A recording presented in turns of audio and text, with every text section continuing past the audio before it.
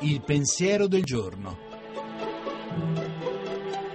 In studio Chiara Giaccardi, docente di sociologia e antropologia dei media all'Università Cattolica di Milano.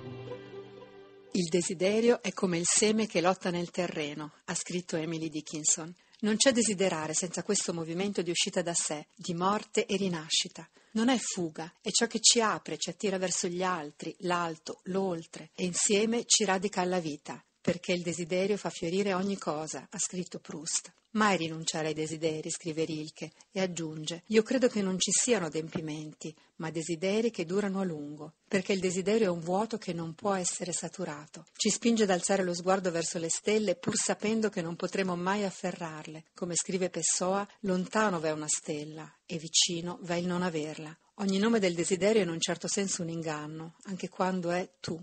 Certo non fu mai così intenso e vago il desiderio, scrive Rilke. Se ci raccontano che qualcosa o qualcuno può saturare questa mancanza, è una trappola, principio di ripetizione e delusione che ci rende cinici, ingombri di cose, privi di legami che durano e alla fine spenti. Deve chiamarsi tristezza, questo non so cosa sia, che mi inquieta senza sorpresa, nostalgia che non desidera, scrive ancora Pessoa. E Ungaretti, non ne posso più di stare murato nel desiderio senza amore. Il desiderio chiede piuttosto di fare spazio, sgombrarsi dalla zavorra di sé per potersi protendere con leggerezza. Meglio coniugarlo all'infinito, desiderare, movimento, continuo oltrepassare, pieno di sorprese. Per Goethe la sorte appaga i nostri desideri, ma a modo suo, per poterci dare qualcosa al di là dei desideri stessi. Un'anqueta fiducia che ci sostiene nel percorrere con generosa grazia, anche in mezzo alle fatiche, la strada della vita. Lo sa dire con parole belle Antonia Pozzi. Desiderio di cose leggere nel cuore che pesa come pietra dentro una barca, ma giungerà una sera a queste rive l'anima liberata, senza piegare i giunchi, senza muovere l'acqua o l'aria, salperà con le case dell'isola lontana per un'alta scogliera di stelle.